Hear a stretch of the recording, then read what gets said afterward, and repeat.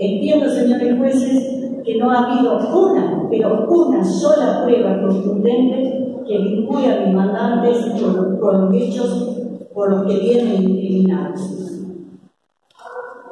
Uno de los principios que considero baluarte de, nuestra, de nuestros derechos humanos y de nuestros principios constitucionales lo constituye el hecho de que los señores jueces para condenar deben tener certeza.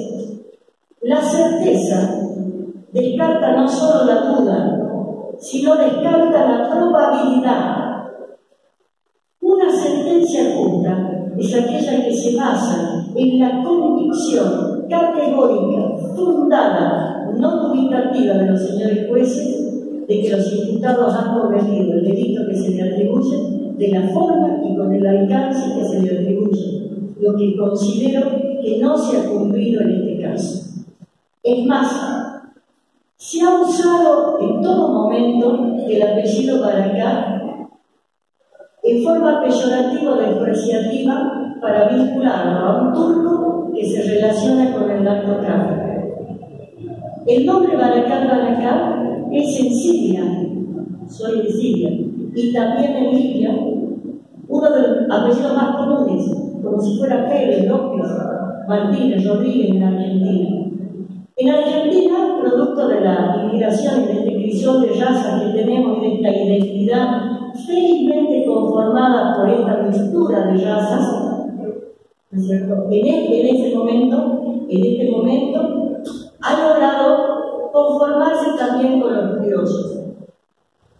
Están viviendo una vida como si fueran argentinos, respetados como si fueran tales. El señor Baracá Baracá fue peticionado al señor juez federal de su nacionalidad argentina por un pedido realizado por 4.500 vecinos del profesor Salvador Massa, que está incorporado a la, casa, a la causa, en la que por considerar que era una persona de bien, que era una persona de prestigio, que era una persona de familia, que gozaba de buen concepto, que era solidario, que había demostrado este, solidaridad con los comerciantes de la zona, merecía ser considerado ciudadano argentino. El señor Baracá tiene un apellido que no está vinculado al narcotráfico necesariamente, salvo aquel que fue encontrado en la triple frontera que nada tiene que ver con ellos. Está asociado, por ejemplo, a Ojama y a Ruth, las dos mujeres, madre e hija de 60 y 22 años, asesinadas en el año 1998 por aportar toda su fortuna para la defensa y resistencia contra el autoritarismo de Siria. Se vincula con Miguel, el fotógrafo de 17 años que también fue asesinado por fotografiar zonas de Gama en medio de la guerra. Está vinculado también a un famoso pintor, está destruida. Toda la prueba no pudo ser controlada por esta defensa. Y además, el pedido de pena para dos personas que carecen de antecedentes, que son primarios, que son de arraigo, que tienen familia, que son respetados, que son prestigiosos comerciantes de la zona, a 14 años, casi el máximo de la pena, no quiero ni imaginar qué pena pediría el fiscal a Escobar Salar. Escobar, estaríamos pidiendo la pena de muerte. 14 años para personas que jamás han tenido un antecedente penal, no solo del narcotráfico, sino de ningún otro, me parece una exorbitancia, señor juez.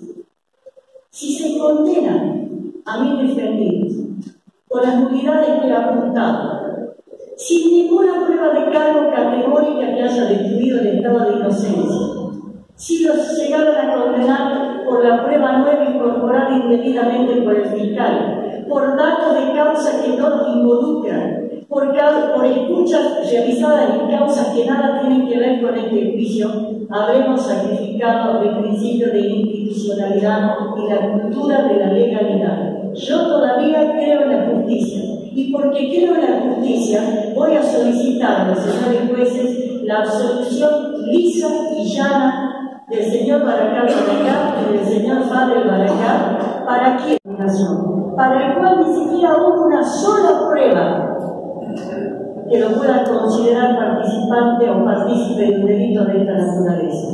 Pido la absolución lisa porque considero que mis clientes no han cometido el delito que se les atribuye, que a todo evento sería un delito absolutamente atípico.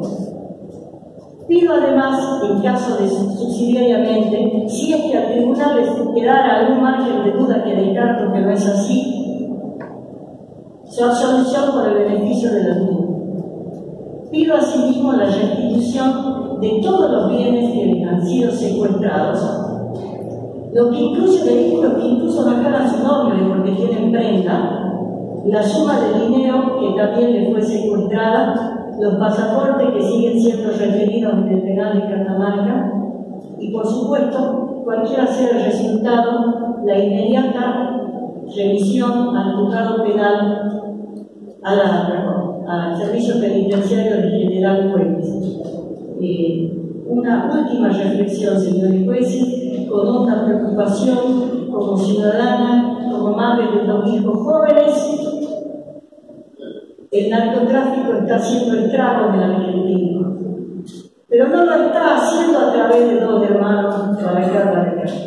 Lo está haciendo en Santa Fe cuando asesinan en las calles a las madres de los abogados lo hacen con total y absoluta impunidad que les da su contacto con el poder.